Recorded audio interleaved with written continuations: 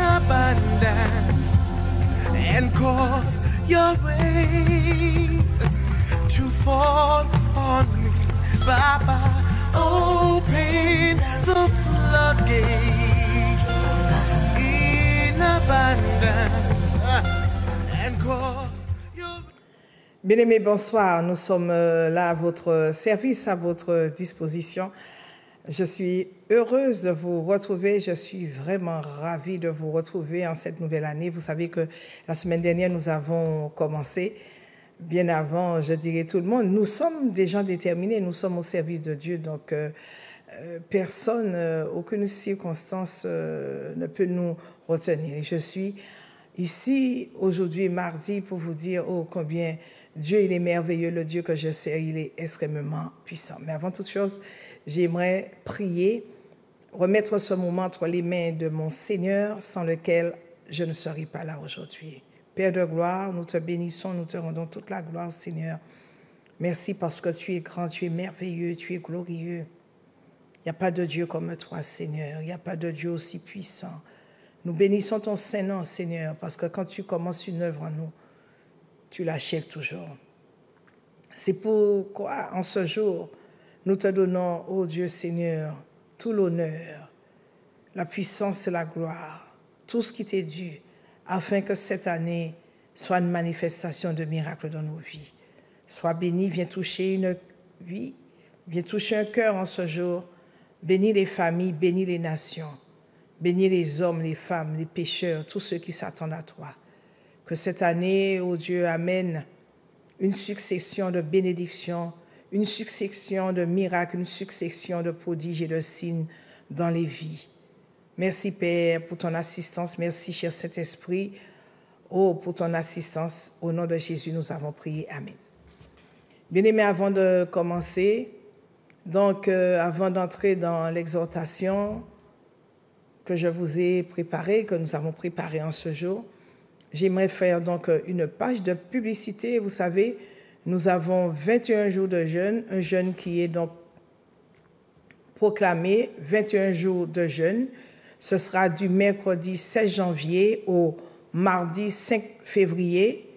Chaque soir, nous serons là à partir de 18h30 à 19h30 pour une heure de prière à l'église La Montagne de Prière qui est située à l'hypermarché Carrefour de Dillon. Vous prenez la première sur la gauche, c'est l'entrée de Morne Calbas, puis la deuxième sur la gauche, l'entrée de la Tuma. Et donc notre église se trouve juste à côté de l'entreprise Sokazi. Et puis, donc retenez que les 21 jours de jeûne, le premier jour commencera le mercredi 16 janvier et le 21e jour s'achèvera le mardi 5 février. Donc les trois derniers jours de jeûne vont se terminer par un, grand séminaire. Ce sera le dimanche 4 au mardi 5. Ce sera un séminaire de miracles de guérison. Ce sera un séminaire riche en prodiges, en guérison, en miracles accidentels, en miracles surnaturels. Donc ne ratez pas ces 21 jours de jeûne. Je vous donnerai plus de précisions et cela va se passer à l'église chrétienne La Montagne de Prière. Mesdames, Mesdemoiselles, Messieurs, chers téléspectateurs, bonjour. Et tout le plaisir est pour moi de vous retrouver une fois de plus sur votre écran de télévision dans le cadre de votre émission préférée sur la montagne de, de prière. Cette émission, elle est chrétienne sans distinction de religion. Elle passe donc tous les mardis à 17h et surtout sur euh, Facebook, sur euh, les canaux hertziens, sur les euh, canaux, je dirais, sur les médias. Donc vous pouvez nous regarder et vous pouvez regarder plusieurs fois l'émission puisque elle passe également sur les réseaux sociaux, les réseaux sociaux notamment Facebook. C'est extraordinaire tout cela. Et en tout cas, merci de nous renouveler votre fidélité et nous sommes convaincus que dans les 30 minutes qui viennent, Dieu le Tout-Puissant va certainement changer radicalement votre vie. Alléluia, croyez-moi. Vous savez, que Dieu, il est le Tout-Puissant. Il est le grand El Shaddai, il est le grand El Gibor, il est le grand Jéhovah Sikenu, il est notre justice, il est le grand Jéhovah Nissi. Il est également notre Jéhovah Rapha, c'est lui qui nous guérit de toutes sortes de maladies. Il est Jéhovah Elohim, il est également Jéhovah Jireh, celui qui pourvoit tous nos besoins selon sa richesse avec gloire en Jésus-Christ. On l'appelle également l'alpha et l'oméga. Il s'agit du créateur des cieux et de la terre. Et celui qui vous aime, celui qui a envoyé son Fils unique mourir sur une croix infâme à notre place. Alléluia. Chers téléspectateurs, une fois de plus, j'ai dit bonjour. Et Dieu m'a mandaté aujourd'hui pour prier pour vous. Il m'a demandé de décréter des choses dans votre vie pour qu'il y ait un changement. Et quel changement? Un changement radical.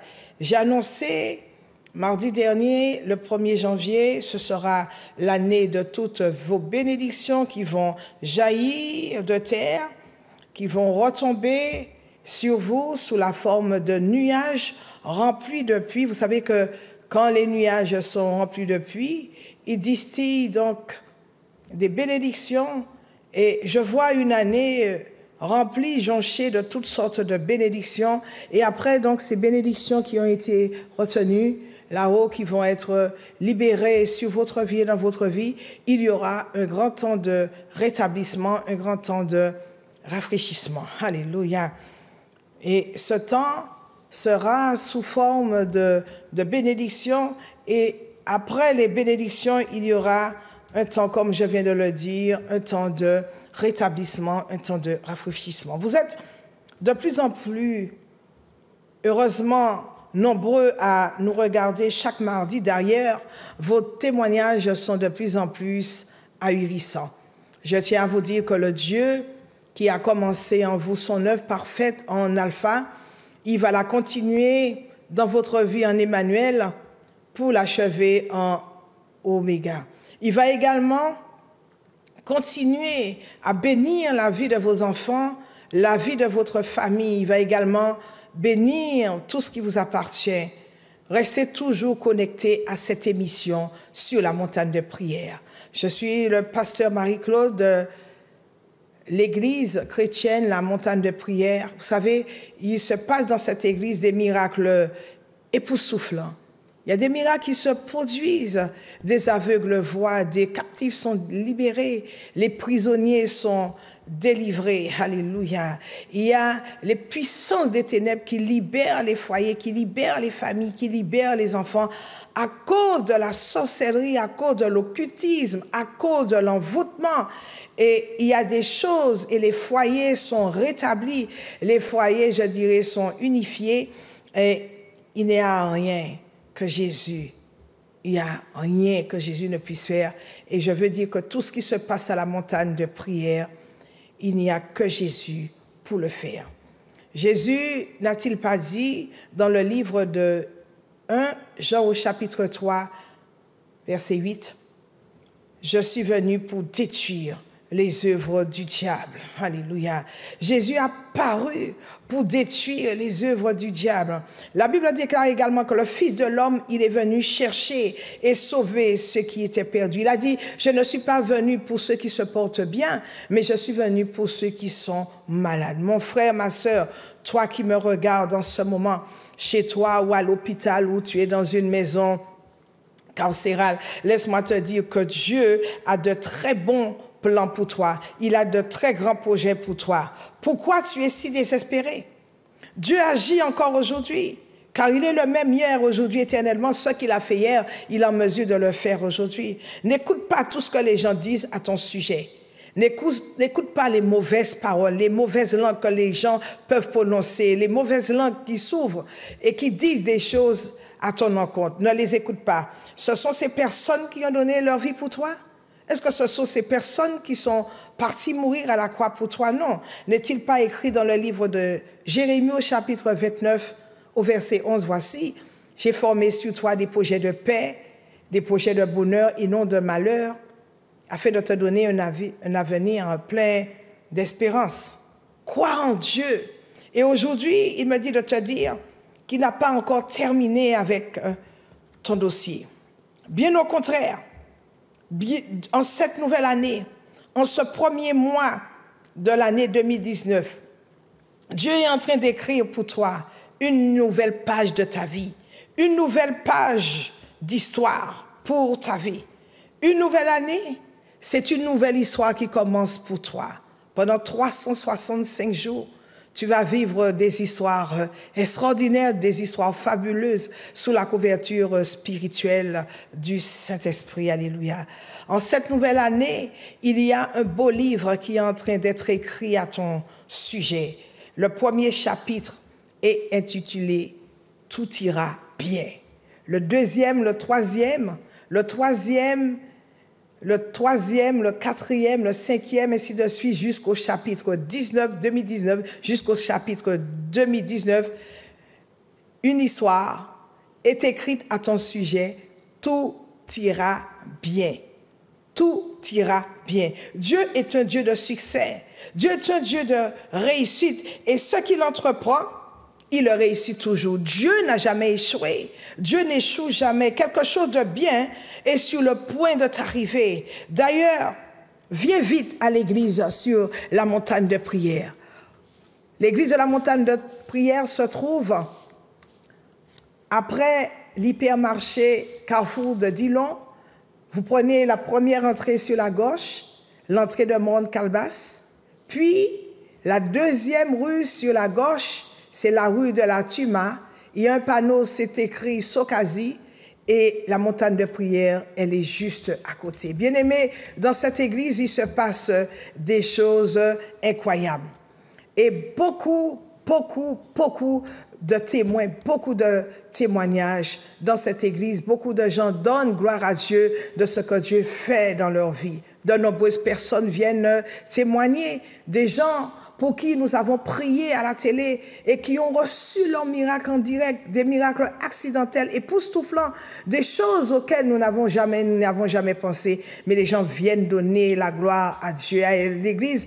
Vous, vous recevrez dans cette église, vous recevez le toucher, vous recevez la visitation du Saint-Esprit. Oh my God. Écoutez, Dieu a toujours fait des projets pour votre vie. Dieu a toujours fait des projets pour ta vie. pour cette année, il y a des choses qui sont écrites dans le cœur de Dieu. Il y a des choses qui sont écrites dans le cœur de Dieu à ton sujet. Dieu n'est pas un homme pour mentir, ni un fils de l'homme pour euh, se repentir. Voici, il y a tout de même une chose. Le diable pensait surprendre Dieu quand il s'est révolté au ciel. Mais Dieu savait déjà, parce qu'il est écrit que Jésus est venu détruire les œuvres du diable. Jésus est venu nous annoncer une bonne nouvelle, une année de grâce. Jésus est venu nous dire que si nous nous accrochons à lui, Jésus est venu nous dire que si nous le choisissons, si nous l'adoptons et si nous le recevons comme euh, notre Sauveur et comme notre Seigneur, il va tout faire pour nous. Car la Bible nous dit dans le livre de Colossiens au chapitre 2 au verset 8, vous avez tout pleinement en Jésus-Christ. Bien aimé, il ne nous manque rien. N'est-ce pas Dieu qui a dit, Jésus qui a dit dans sa parole, Alléluia, que tout ce que vous demanderez en mon nom, je le ferai pour vous. Quelle merveilleuse parole, quelle merveilleuse espérance, quel merveilleux espoir dans le nom de Jésus-Christ de Nazareth. Oh, écoute, dans ta vie, il arrive des choses que tu n'arrives pas à expliquer. Mais, mais, mais, tu as la réponse à tout. Jésus-Christ, il est la réponse. Il est la solution. Jésus-Christ, il est le Fils de Dieu, crucifié, enseveli, mais ressuscité et assis. La Bible nous dit qu'il est la droite triomphante de l'Éternel. C'est notre avocat c'est notre défenseur auprès du Père. Car n'oubliez pas que le diable, il est l'accusateur des frères. Il vient devant le Père pour nous accuser jour et nuit. Mais nous avons un avocat auprès du Père, nous dit la Bible. en la personne de Jésus-Christ de Nazareth, le ressuscité du troisième jour. Oh, il y a un tribunal. Quand ils viennent nous accuser comme cela, quand ils viennent nous accuser, Jésus est notre défenseur. Il est la défense. Dieu, il est le président du tribunal. Jésus est notre avocat principal. Et le Saint-Esprit, il est chargé de faire exécuter toutes les décisions qui sont libérées en notre faveur. Que tu aies tort ou pas, que tu aies raison ou pas, avec Jésus, tu triomphes toujours. Un exemple dans la Bible, cette femme prostituée, peut-être qu'elle avait été abusée dans sa jeunesse, peut-être qu'elle a été violée, peut-être qu'elle a été abandonnée, mais cette femme, elle a trouvé sa délivrance auprès de Jésus-Christ. Jésus ne l'a pas rejetée. Marie de Magdala, nous dit la Bible, avait sept démons. Et pendant le temps, elle a vécu avec ces démons. Mais Jésus, le jour qu'elle a fait cette rencontre avec le ressuscité du troisième jour, elle a été complètement, mais complètement libérée, complètement délivrée. Il y a également un autre exemple dans la, Bible, en la personne du fou, le fou de Gadara, qui était terriblement possédé et qui vivait enchaîné dans les cimetières. Oh, mes bien-aimés, quel désespoir. Depuis des années, pour ces personnes, pour Marie de Magdala, pour le fou de Gadara, pour la femme à la perte de sang depuis 12 ans, pour la fille d'Abraham, une femme qui était dans l'église et qui servait Dieu jour et nuit, mais qui était enchaînée depuis 18 ans, qui était courbée sous les problèmes, sous les soucis, sous les fardeaux depuis 18 ans. Oh, combien on se rappelle de Bartimée, le fils de Timée, qui était aveugle, et tout ça à cause de la sorcellerie. Mais quand vous rencontrez Jésus, quand tu rencontres Jésus, Jésus t'amène toujours vers un certain niveau, un niveau que les hommes ne peuvent pas atteindre. Jésus a la foi. Alléluia. Jésus, il a la foi. Jésus assez de foi pour briser toutes les chaînes qui te retiennent aujourd'hui dans la captivité. bien aimé, je suis, je suis, je suis étonné, je dirais, je suis même choqué de voir qu'il y a des chrétiens assis dans les églises, assis dans l'église, mais qui sont pauvres, des chrétiens malheureux, des chrétiens malades, des chrétiens misérables, des chrétiens oh combien déprimés, des chrétiens qui n'ont plus d'espoir, plus d'espérance, des chrétiens qui vivent une vie de misère, de disette, de, famine. On trouve tout cela, mais où? Mais dans l'Église. Or, c'est dans l'Église que tu es censé trouver la solution. Mais tu n'as pas laissé le monde pour venir à l'église, pour entrer à l'église, pour vivre une vie de souffrance, la même misère, la même souffrance que, qui était dans le monde, la même chose à laquelle tu faisais face, tu arrives à l'église, tu retrouves la même chose. Oh, je suis choqué. Je suis même euh, plus qu'étonné. Tu es misérable dans ta vie et tu es misérable également à l'église. Des chrétiens malheureux. Mais c'est parce que l'Éternel n'est pas leur berger. Comme le dit le psaume 23, ce n'est pas toi qui dois chercher ce que tu dois manger.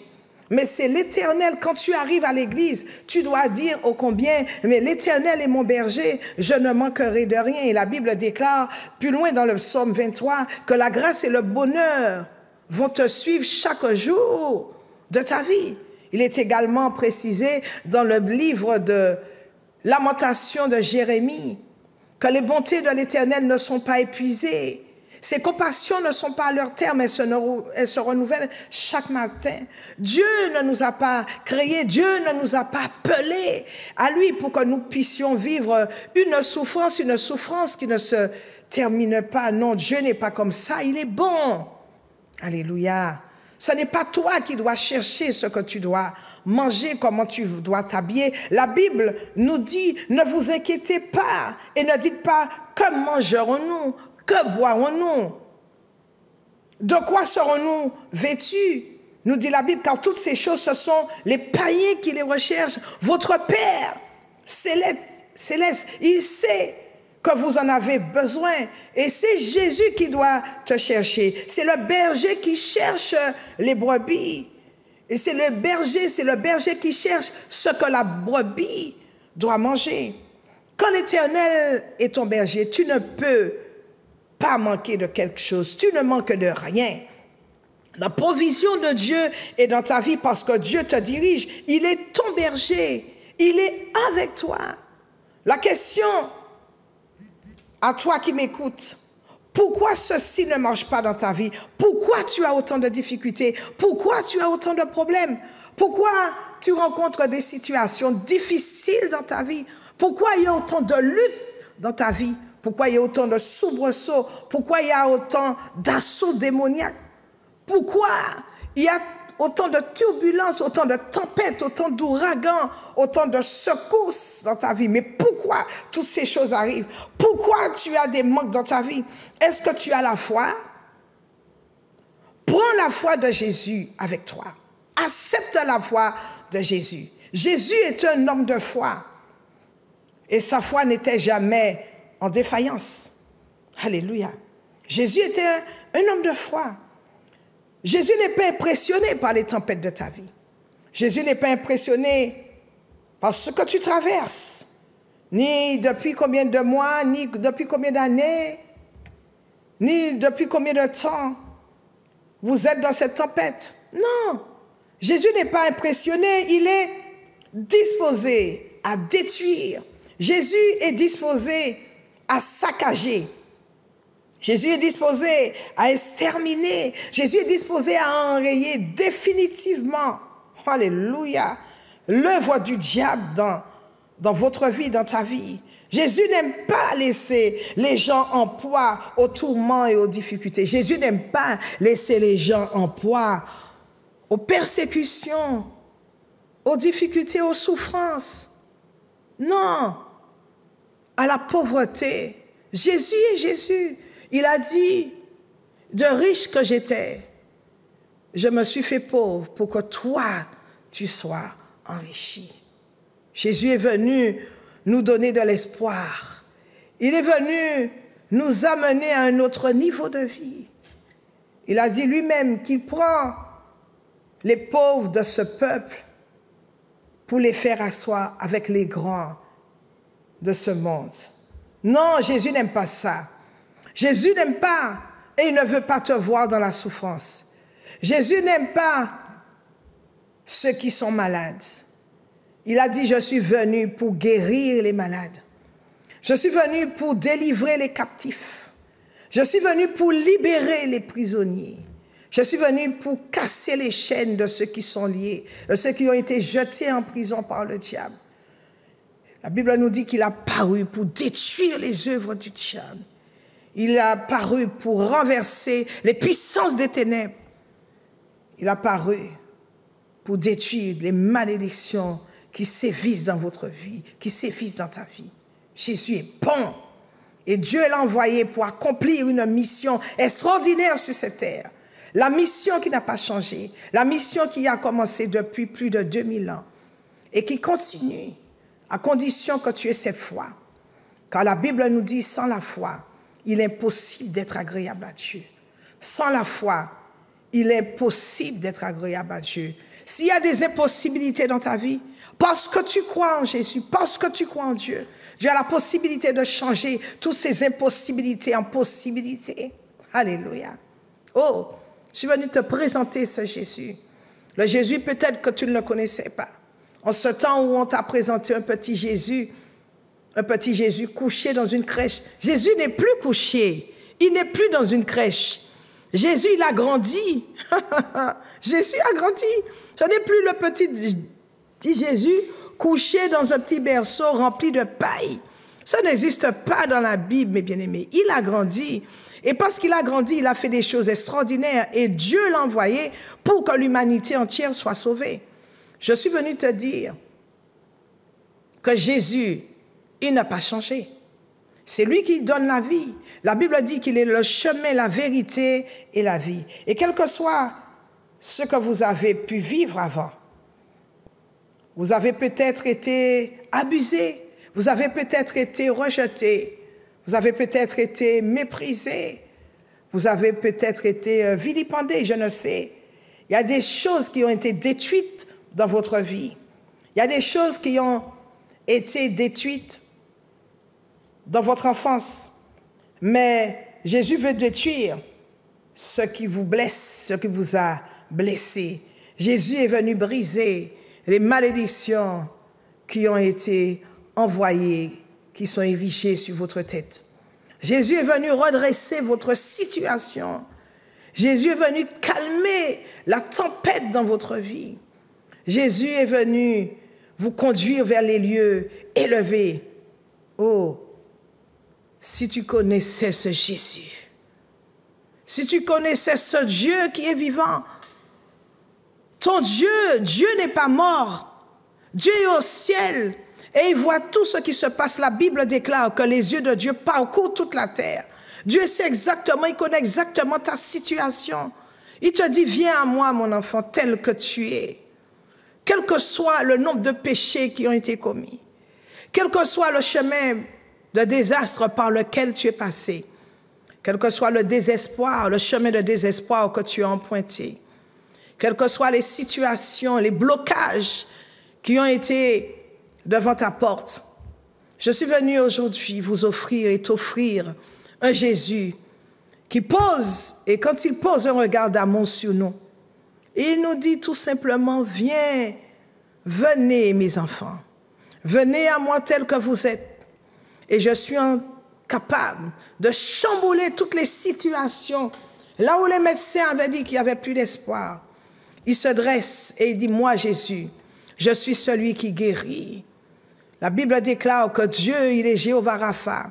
C'est lui qui nous, nous guérit de toutes sortes de maladies. Aucune maladie ne peut résister à Dieu. Aucune maladie, aucun problème ne saurait résister à Dieu.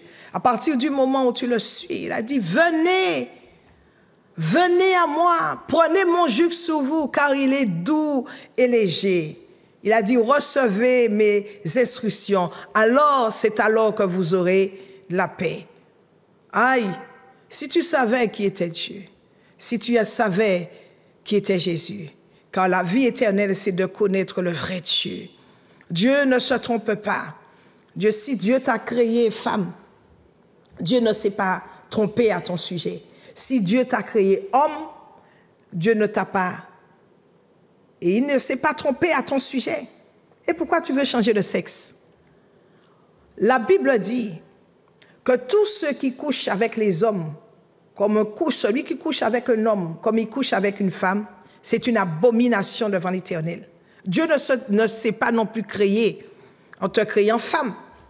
Pourquoi tu veux aller avec les femmes? Pourquoi tu veux commettre ce crime-là qui est, le lesbianisme? Bien aimé, ça doit changer.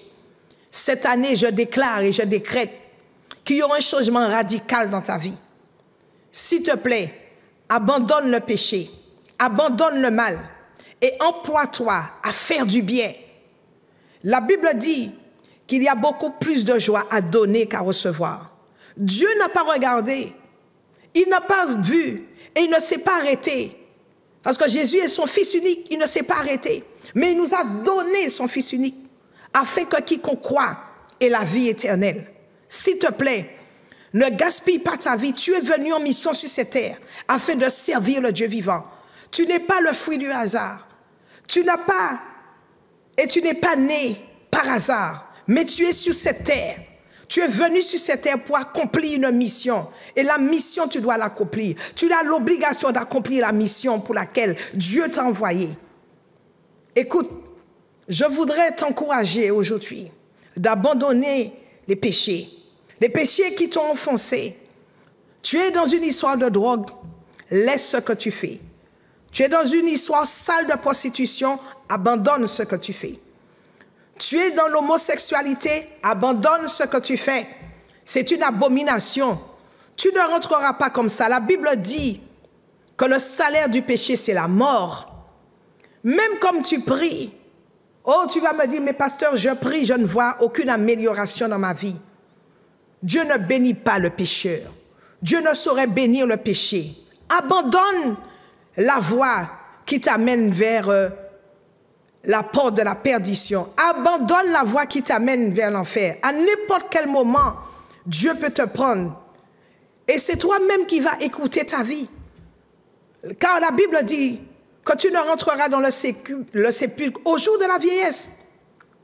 Mais si tu fais le mal, à quoi bon te garder? Tu sais que si tu fais le mal, tu es de l'autre côté. Et le diable ne te fera aucun cadeau.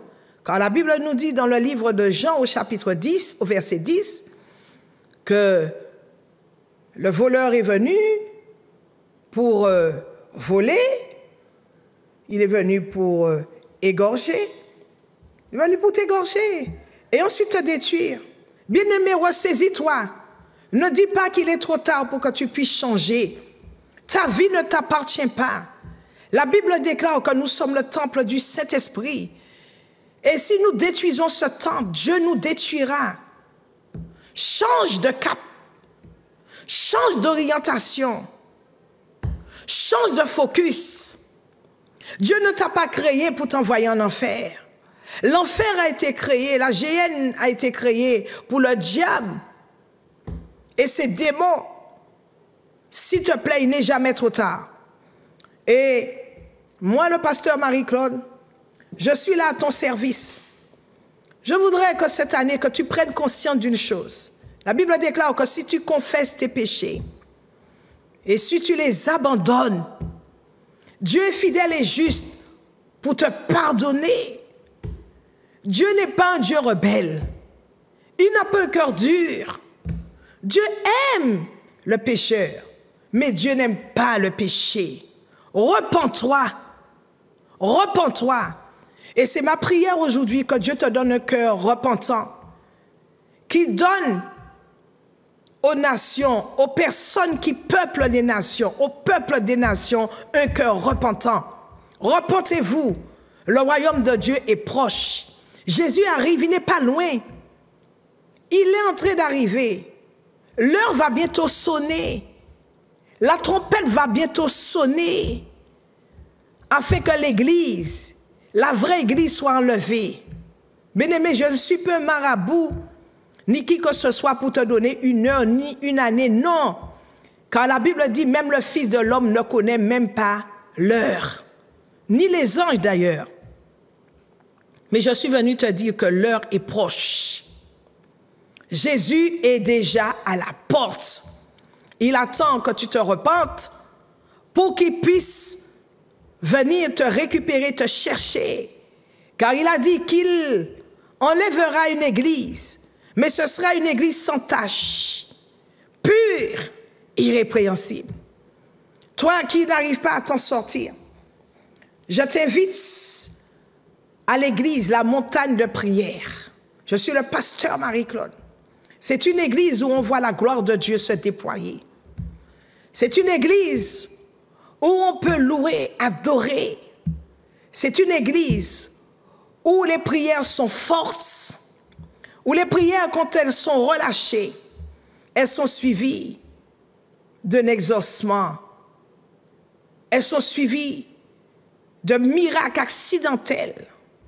Bien-aimés, nous ne sommes pas là pour caresser le diable, mais nous sommes là pour mettre un terme aux agissements, aux assauts de l'ennemi dans vos vies. Cela ne saurait durer. Tu dois brandir le panneau stop pour dire au diable assez, c'est assez. Tu vis, non. Tu ne peux pas vivre en enfer sur cette terre. Tu es venu ici. Ici, c'est le bonheur. Tu dois vivre le bonheur. Le bonheur ne se trouve pas au ciel, mais le bonheur se trouve sur la terre. Car le sang de Jésus a coulé pour toi sur la terre, afin que tu puisses bénéficier et jouir de la faveur du sang de l'agneau. Et ma prière en ce jour, c'est que le sang de Jésus qui a été relâché, que ce sang puisse parler en ta faveur, qu'il puisse parler pour ton succès, pour ta réussite.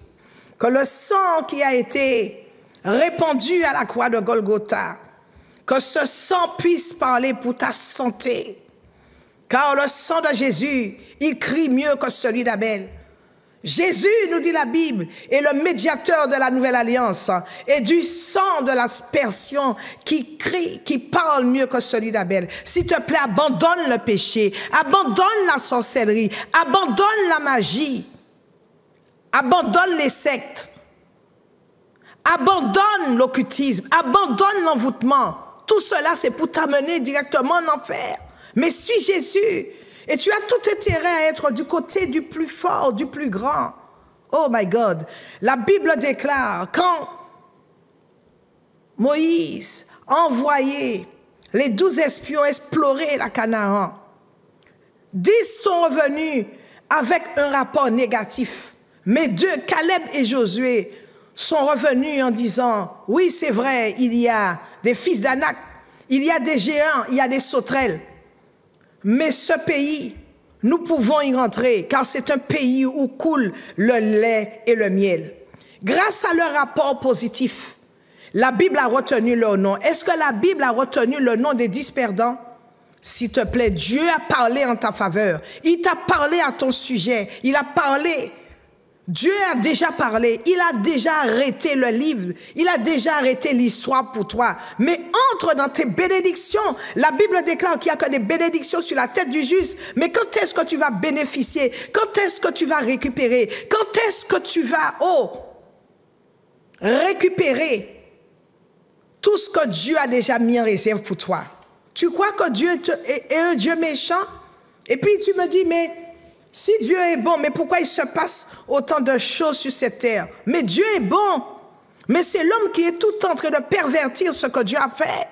L'homme est tout le temps dans le vice, tout le temps dans la perversion. Bien aimé, mais quand est-ce que tu vas changer? Mais quand est-ce que tu vas t'aligner sur le Dieu, sur Dieu Est-ce que tu sais que tu ne peux rien faire sans, sans Jésus, sans Dieu? Est-ce que tu sais que Dieu a tout créé? Dieu a créé bon, mais c'est l'homme qui, qui, est venu, de par sa désobéissance, c'est l'homme qui a tout changé. C'est l'homme qui met Dieu en colère. Bien-aimé, je suis venu prier pour toi, afin que les choses puissent changer dans ta vie. Je suis venu relâcher des bénédictions sur ta vie. Parce que Dieu m'a demandé de prier pour toi. Et je voudrais, en ce jour, que tu puisses tendre ta main vers l'écran. Et quel que soit ton problème, quelle que soit ta situation, Dieu est capable de traverser ta télé pour exaucer ta prière. Oh, tu as prié pendant longtemps. Tu as pleuré. Depuis des années, depuis des mois, tu pleures. Tu es dans une souffrance terrible. Mais qui te dit que ta situation ne peut pas changer? Et je viens aussi te dire que Dieu n'aime pas les idoles. Dieu n'aime pas les totems. Toi qui m'écoutes en ce jour, si tu as des totems chez toi, si tu as des bouddhas chez toi, si tu as des hôtels chez toi, des tables, je veux dire des hôtels, des tables sur lesquelles tu as positionné des bougies, des cierges, des statuettes, des chapelets, des totems, des icônes, s'il te plaît, débarrasse-toi de tout ça. Parce que ce sont des pistes d'atterrissage pour le diable. Et tu es étonné que rien ne marche dans ta vie. Mais tu es étonné que le diable, il joue avec toi comme il a toujours fait. Oh, pasteur, j'ai déjà prié. Je prie régulièrement, mais je ne vois aucun changement, aucune amélioration dans ma vie. Mais c'est tout à fait normal. Parce que tu provoques Dieu la Bible dit dans le livre d'Exode au chapitre 20, à partir du verset 5, qu'on ne trouvera chez toi aucune image taillée, aucune représentation des choses d'en haut sur la terre. Également dans le livre de Deutéronome chapitre 18, à partir du verset 9, la Bible dit que tu n'évoques pas ce qui évoque les morts, ni les magiciens, ou encore euh, les oiseaux de mauvais augure. Tu es tout en train d'irriter Dieu. Tu es, tu es tout en train de soulever la colère de Dieu. Et tu veux que Dieu exauce ta prière Non, mes bien-aimés, il faut faire la volonté de Dieu. Car la Bible nous dit que Ce ne sont pas tous ceux qui diront Seigneur, Seigneur qui vont entrer, mais c'est seulement ceux qui vont faire la volonté de Dieu. Jésus a dit, c'est seulement ceux qui feront la volonté de mon Père. Lui-même a dit, je ne suis pas venu faire ma volonté, mais je suis venu faire la volonté de celui qui m'a envoyé. Bien-aimé, en cette nouvelle année, je t'exhorte donc à t'aligner sur la parole de Dieu. La parole de Dieu, elle est claire. Et Dieu ne saurait mentir. La Bible nous dit que la parole de Dieu court euh, avec vitesse. Et Dieu se tient toujours derrière sa parole pour l'exécuter. Sa parole ne revient pas à lui sans avoir accompli ce pour lequel elle a été envoyée. Bien-aimé, ce vendredi, à l'église La Montagne de Prière, dont l'adresse est la suivante. Hypermarché Carrefour de Dillon. Tu prends la première sur la gauche, c'est l'entrée de Mont Calbas, puis la deuxième sur la gauche. Il va se passer des choses extraordinaires, exceptionnelles, des choses que tu n'as jamais vues. Je t'attends. Si tu es découragé, c'est une église qui relève, où le nom de Jésus est proclamé, où la puissance de Dieu est relâchée. Une église où la parole de Dieu est libérée. Ce ne sont pas les églises où nous nous limitons à la connaissance, mais c'est une église où on rentre dans les profondeurs de la parole. Nous rentrons dans la révélation de la parole. La Bible déclare qu'une église où il n'y a pas la révélation, c'est une église sans frein. Permets-moi de te dire que à la montagne de prière, la parole de Dieu, elle est déclarée dans toute sa vérité. Bien-aimés, nous marchons sur les voies de Dieu, selon les voies de Dieu. Car la Bible nous dit que si nous obéissons aux voies de l'Éternel, voici toutes les bénédictions qui vont suivre. Nous serons bénis dans tous les domaines de notre vie. Le fruit de nos entrailles sera béni. On sera la tête et non la queue. Ce ne sera pas une propagande, mais on va toujours vivre dans l'excellence. Bien-aimé, tu dois connaître le bonheur sur cette terre. Et quels sont les horaires de l'église La Montagne de Prière? Nous sommes là le mercredi pour vous enseigner la parole de Dieu, pour que la parole de Dieu puisse venir s'asseoir sur la table de votre cœur, afin qu'il y ait une métamorphose dans votre vie. Le jeudi, ce jeudi, je vous reçois à partir de 10 heures. Oh, mes bien-aimés, il se passe des choses. Si vous n'avez jamais eu de solution à votre situation, je serai là ce jeudi pour invoquer le nom de notre Seigneur Jésus avec vous. Je serai là pour invoquer le nom du Seigneur Jésus avec toi, afin que tu vois un changement radical dans ta vie. Ce vendredi, ça va exploser à partir de 18h30. Le vendredi, ce, vendredi, ce sera une soirée spéciale délivrance une soirée spéciale de prière où tu dois voir la gloire de Dieu éclater dans ta vie. Et ce dimanche, à partir de 9h, nous avons notre école de fondement, suivi de notre culte de louange et d'adoration. Bien-aimé, je vais prier pour toi. Je te demande de tendre la main. Touche ton, ton écran. Dieu va traverser et il viendra te toucher à travers l'écran à travers la télévision, Dieu va faire exploser la maladie qui est dans ton corps et qui est cachée là. Je prie pour toi en ce jour.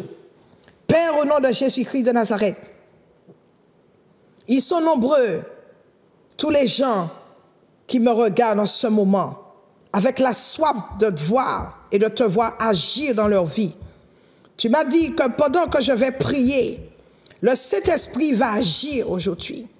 Je prie donc, que ce soit en France, en Allemagne, en Guadeloupe, en Martinique, en Guyane, sur Internet, que quelles que soient les personnes qui ont été mandatées par le ciel pour être délivrées par, oh Dieu Seigneur, Alléluia, Papa, ce soir, quelles que soient les personnes qui ont été mandatées par le ciel pour être délivrées, que ces personnes, oh Dieu Seigneur, te rencontrent en ce jour. Je commande au nom puissant de Jésus-Christ de Nazareth à tout esprit diabolique de libérer le corps de ces personnes, de libérer leur vie, de libérer leur famille. Je brise toutes les chaînes qui retiennent les personnes en captivité. Je te libère, toi qui me regardes, toi qui as posé ta main sur la télé, je te libère maintenant de toute malédiction au nom puissant de Jésus-Christ de Nazareth. L'onction de Dieu est sur ta télé, dans ta télé. La guérison arrive dans ton corps. Les maladies prennent la fuite. l'hypertension, le diabète, le cancer, le sida, toute forme de maladie, de te libère maintenant au nom puissant de Jésus-Christ de Nazareth. Oh, toi qui as déjà souffert, je prophétise que le mois de janvier, ce premier mois, tu chercheras tes bénédictions et tu vas les trouver au nom puissant de Jésus-Christ de Nazareth. Je prophétise ton mariage, ce mari que tu as tant cherché, cette femme que tu as tant cherché pour épouser. Je prophétise que tu seras disségué. Et le temps est arrivé pour que les bénédictions au nom puissant de Jésus-Christ de Nazareth te localisent. Avant la fin de cette année, tu seras élevé. Sois béni, notre émission touche à sa fin. Je rappelle que je suis le pasteur Marie-Claude. Je suis votre servante, je suis à votre disposition. Je suis à l'église de la montagne de prière et si vous voulez me joindre, mon numéro de téléphone est le suivant, le 06 96 33 36 45. 06 96 33 36 45 appelez-moi, je vais prier pour vous, je vais prier avec vous et vous verrez ce que Dieu est en mesure de faire pour vous. Alléluia. Bien-aimé, donc notre émission arrive à sa fin.